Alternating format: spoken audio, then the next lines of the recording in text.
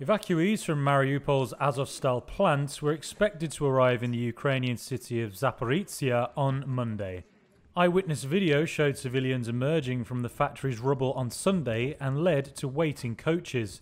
The United Nations and International Committee of the Red Cross began an operation on April 29th to bring women, children, and the elderly from the steelworks. Azovstal has been a holdout for hundreds of Ukrainian troops and civilians after Russia's incursion into Mariupol. Some evacuees who had not been holed up in Azovstal arrived in Zaporizhia Monday independently from the UN operation. Natalia was one of those evacuees. She said she had left Mariupol some time ago and had been hiding in a basement in a nearby village.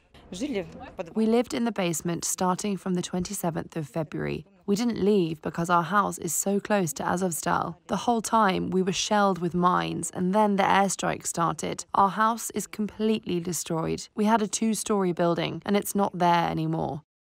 Russia has focused on Ukraine's south and east after it failed to capture Kiev in the early weeks of the conflict. Thousands of civilians have died and 5 million have fled the country.